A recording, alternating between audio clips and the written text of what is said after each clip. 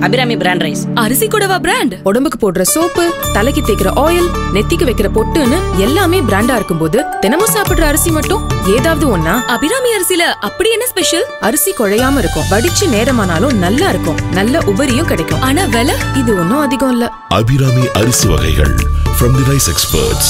அரிசினாலே அபிராமி தான்.